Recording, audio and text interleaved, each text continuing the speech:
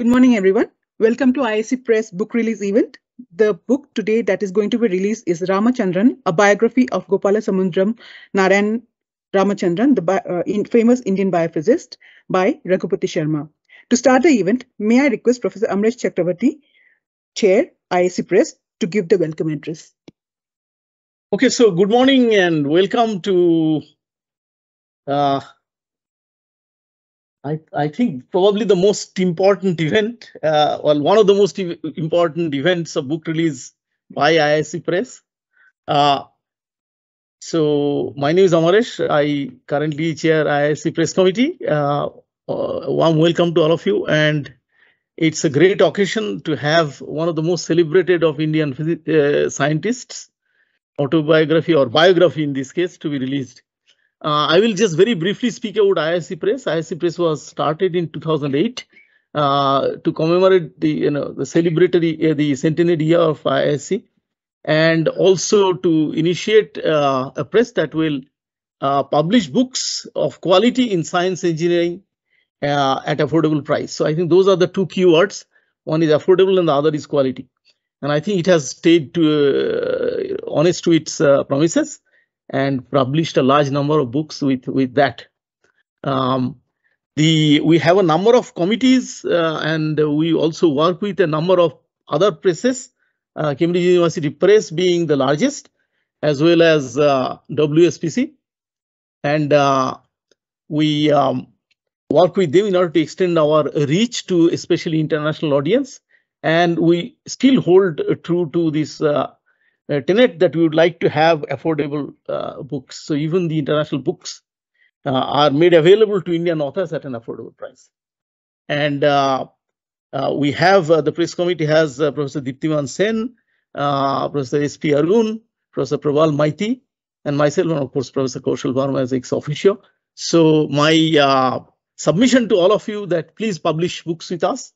And we'd love to have that. IISc Press is not just for IISc it's for the entire world and we have books actually from various parts of the world including other parts of the country that have been published before. So with that i will stop and i'll uh, let the proceeds go. And it's a very warm occasion and i look forward to listening more to other speakers. Thank you. Uh, we are delighted to have a video message from professor ramesh narayanan professor of astronomy harvard university and son of the illustrious father g n ramachandran it is a pleasure to know about the personal side of the luminary from his son himself. I will play the video. Dear friends, my name is Ramesh Narayan, and I am the son of the late Professor G.N. Ramachandran, known as GNR to many of his colleagues and students and friends.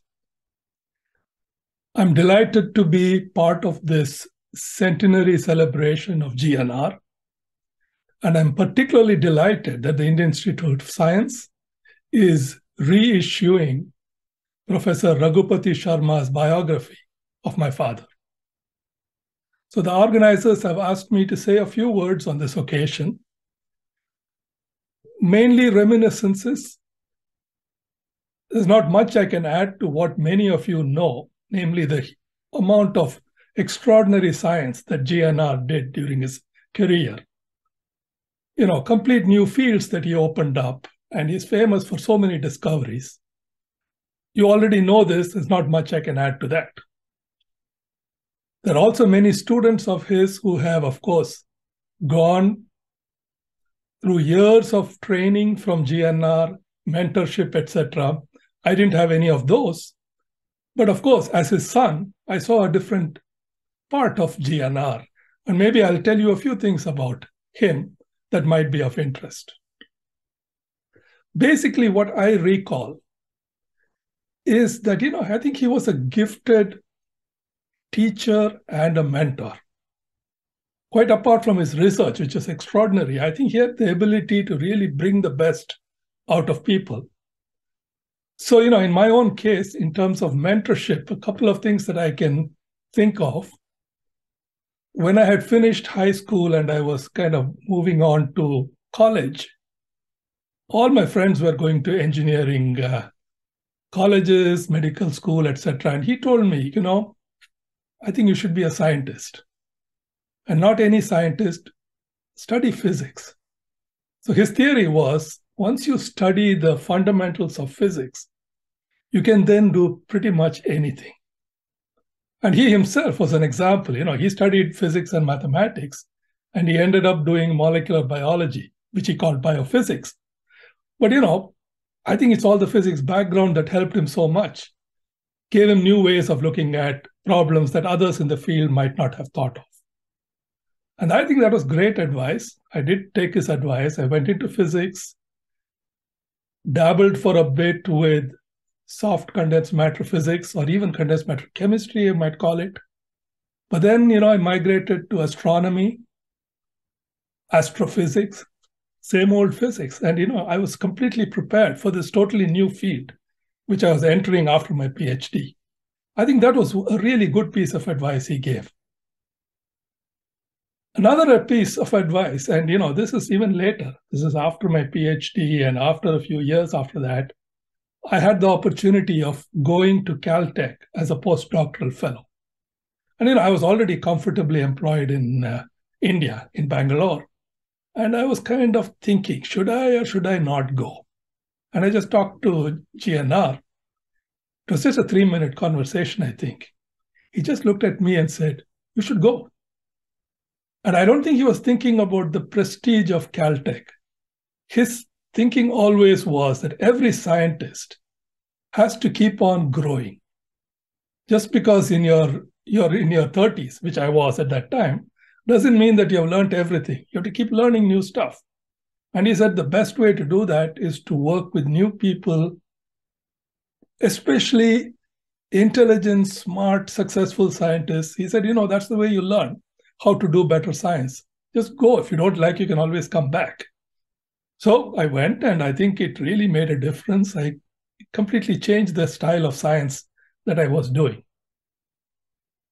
Another piece of mentorship or advice he gave me, which I never took, unfortunately, was he said, you know, it's all very good to do research, publishing original research, papers, etc. You should also write books. That was his advice. And, you know, he did write books. And thinking back, I know, I mean, all of pretty much all of the Fourier transforms that I know, I learned by reading his book. This is Ramachandran and Srinivasan, Fourier Methods in Crystallography.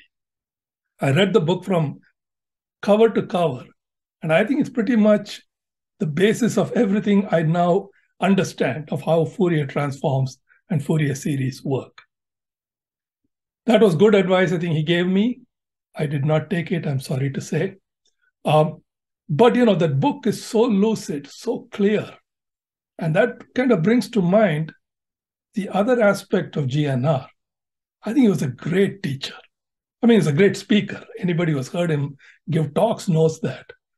But I also saw him as a teacher. Occasionally, I have attended lectures by him.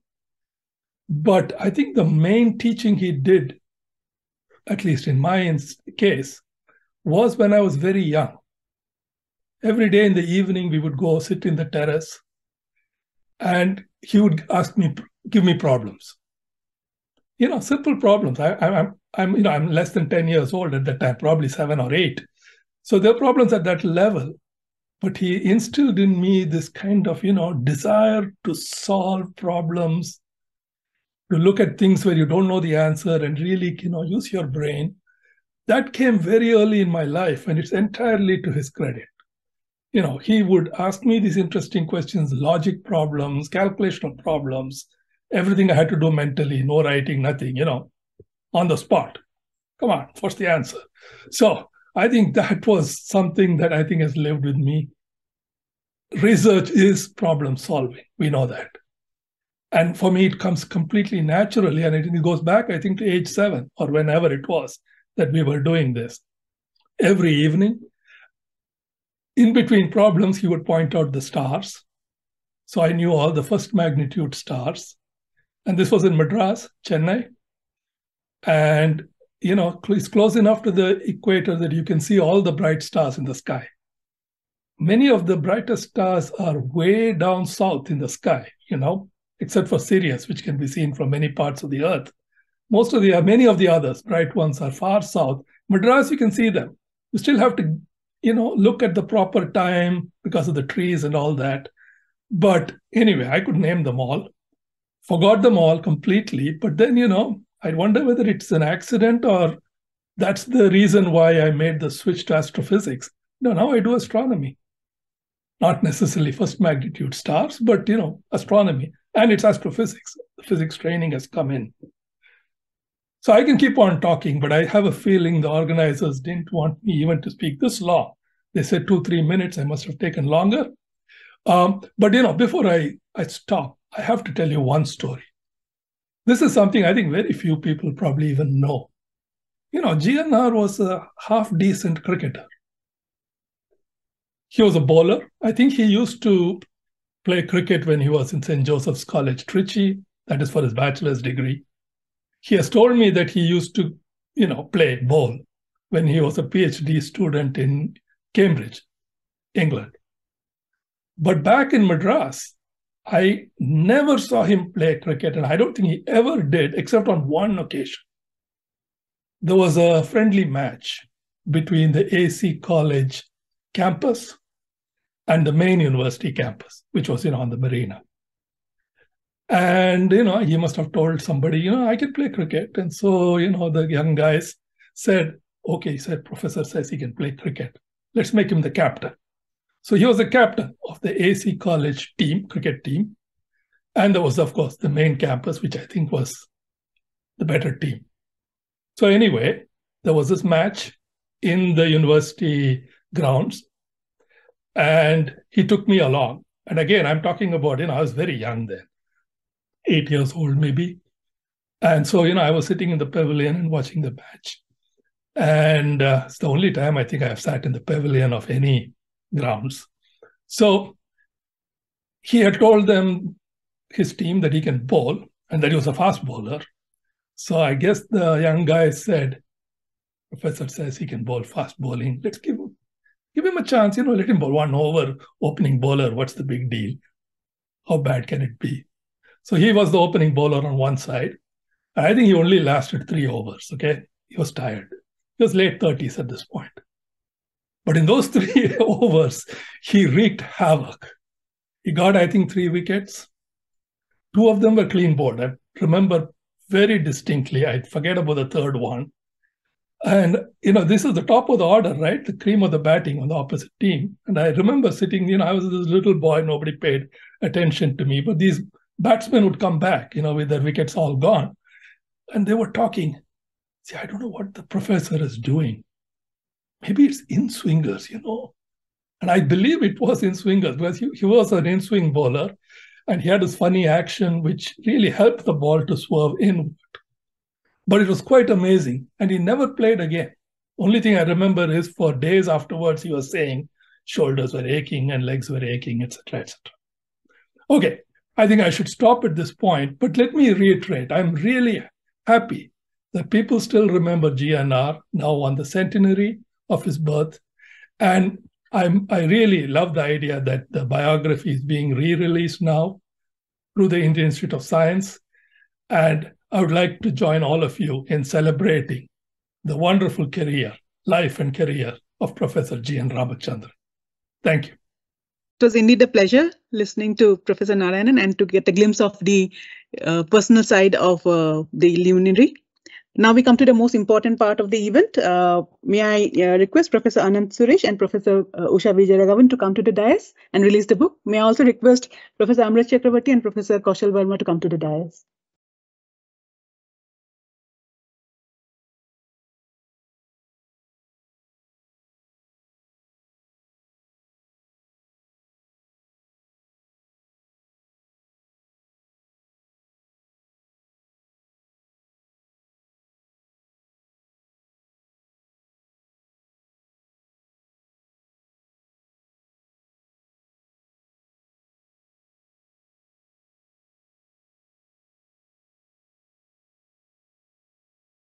Thank you. Uh, can I request Professor Usha Vijayaraghavan to say a few words, followed by Professor Ananthasuresh? Well, it's a, it's a wonderful uh, pleasure to participate in this uh, event of this book release, reprinting of uh, Raghupathy Sarma's book, biography on uh, Ramachandran. And this is actually the second of the events uh, celebrating the centenary year, birth year for uh, Professor GNR. Uh, on October 8th, we had a lecture which was delivered by uh, Professor Kira Ramakrishnan, and that was an online event, and it was, uh, you know, attended uh, very widely and very much anticipated. Now, about uh, what can I say about Professor GNR, which uh, you know, which you probably do not know about. Brilliant mind, uh, mentored by yet another brilliant mentor, uh, C.V. Raman, went from, uh, followed his passion, moved from uh, electrical engineering to physics, and uh, followed his passion on not only um, you know developing tools, he developed many methodologies and instruments for crystal structure. Uh, put India on the map, the Madras Group, as it was called, with uh, Kartha, um, you know, made India on the map for their solution for the structure of uh, the triple helical structure of collagen. Um, became a global, globally recognized person for um, understanding the structure of the chemical bond and uh, put textbook material in the hands of the next generation of scientists. Then, you know, the Ramachandran plot is now in every biochemistry textbook. So he is an iconic figure, and IISc is very proud of the association that uh, we've had with him when he was a professor here, returned after his PhD from Cambridge and joined here. Um, then went on to move to uh, Madras.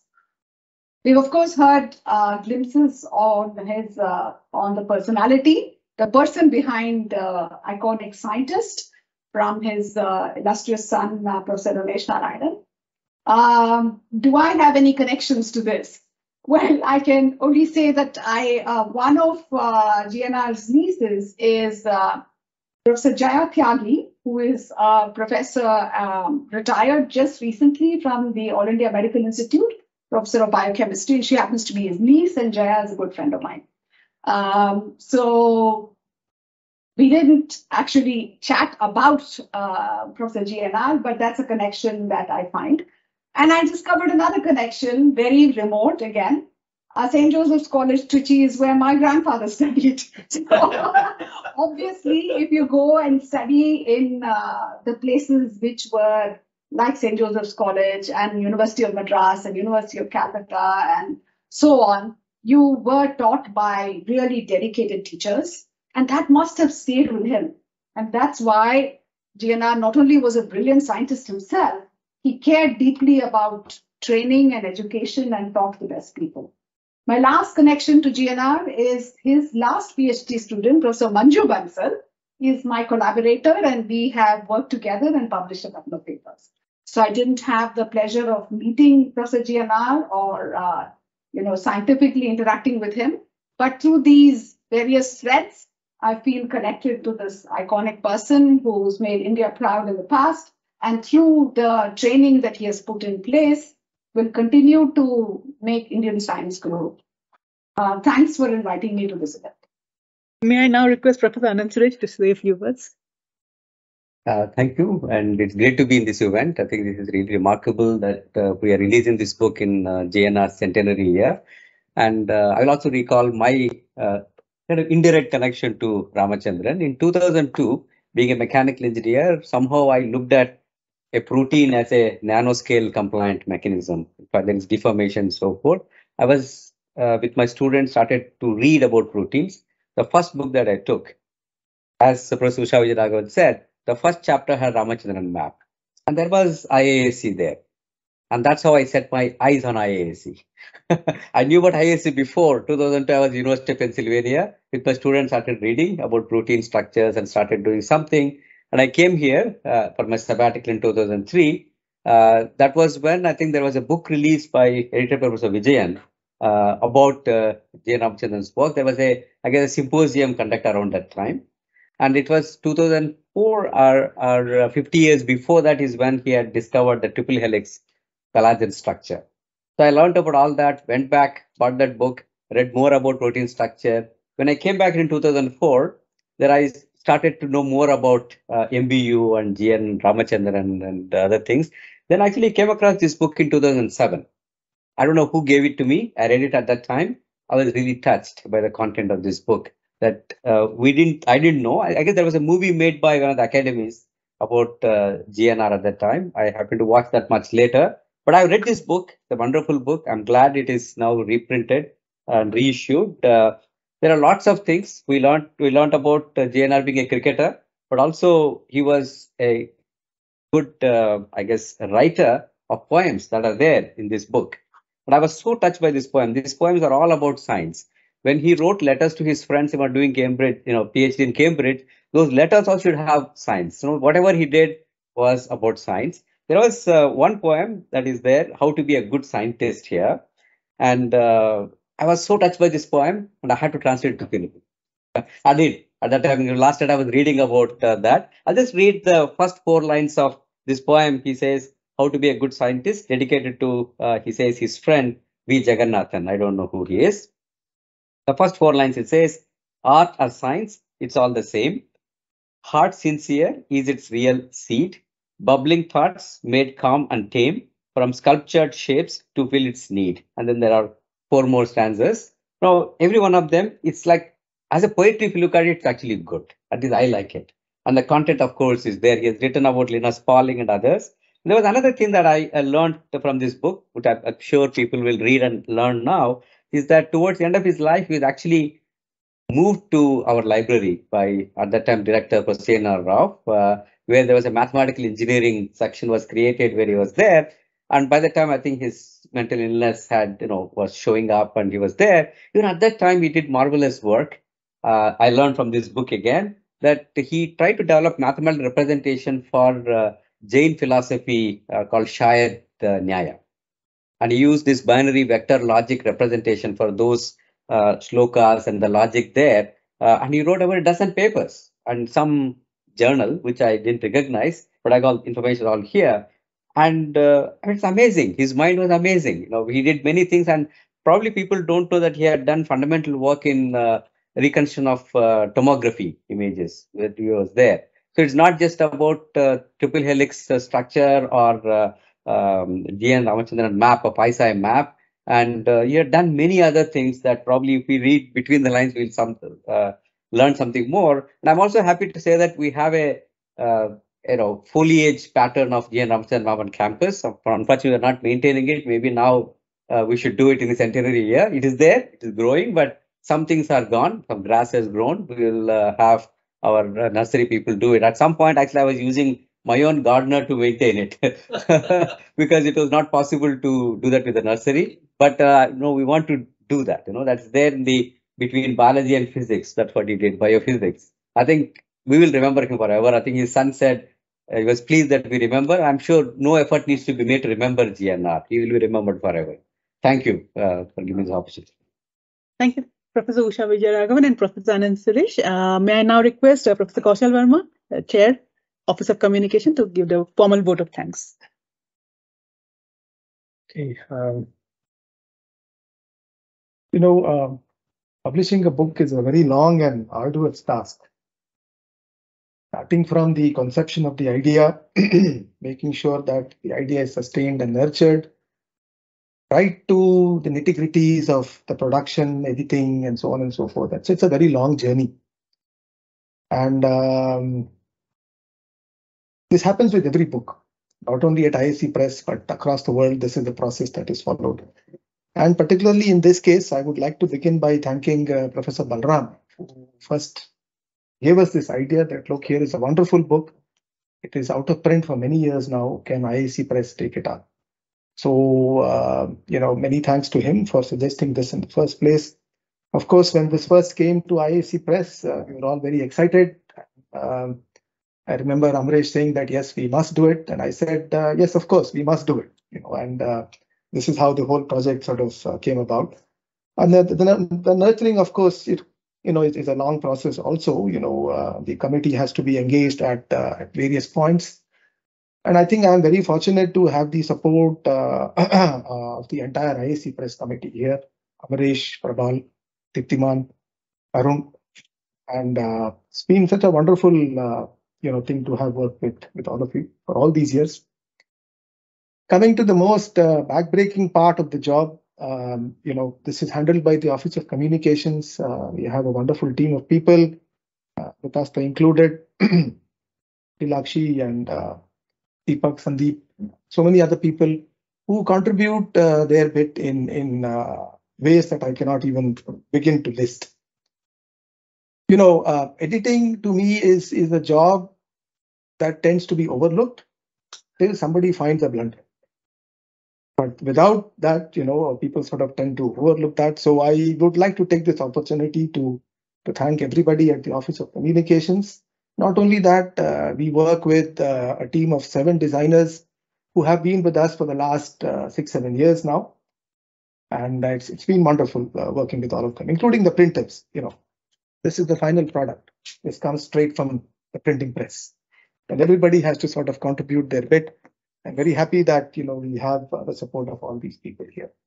So um, let me end by uh, you know uh, thanking Vitasta for taking care of today's program, uh, and of course uh, Professor uh, Ramesh Narayanan and everybody else who has contributed this. Thank you very much. With this, we come to the end of today's event. Thank you very much for joining, and we'll hope to see you next time. Thank you.